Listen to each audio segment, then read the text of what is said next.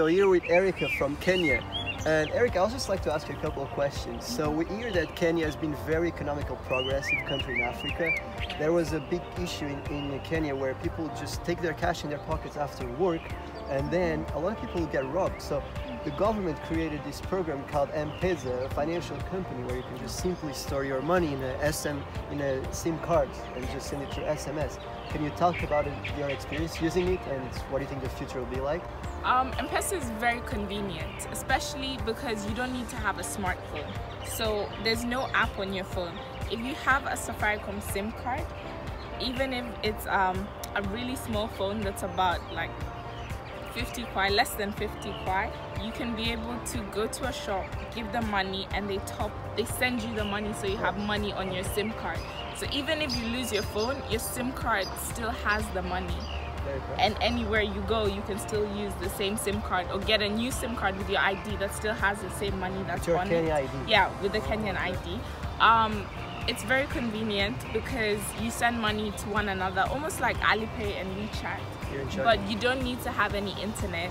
It doesn't cost you. Um, you don't need Wi-Fi, which is a problem. Like in China, Yeah. there's a lot of internet everywhere, Yeah. but in Kenya, it's hard to get access Yeah. to internet.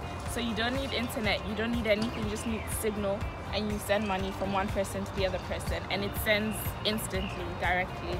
You can also link your bank card to it, just like Alipay, and it takes money from or deposits it in your bank account instantly. You don't need to wait for 24 hours or anything like Does that. everyone have a bank account in Kenya? Is it easy to open or they just prefer to use the SIM card and just send money? I would say that more people have M-Pesa than bank accounts because M-Pesa is like a bank. So the, there was one day where M-Pesa was down for about five hours and it was Whoa. almost a national crisis because That's it's like a bank crashing. M-Pesa is very important in our country, especially for low income um, people who need to send it like just like you said so that they don't get um, stolen from or anything like that. So the phone they'll have is almost like a burner phone. It's really small. Like a cheap phone, yeah Nokia, so cheap like but you can have a lot of money on that and no one can access it of course. What's the max amount you can put on the phone?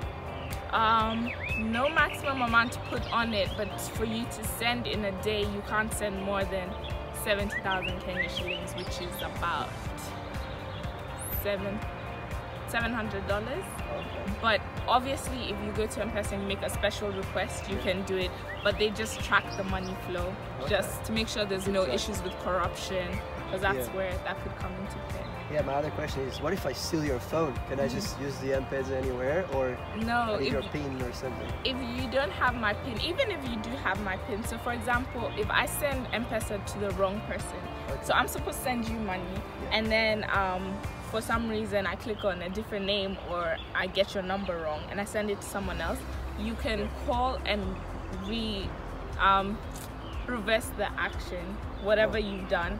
And so if somebody steals your card for example you get notifications every single time um, so a transaction is made.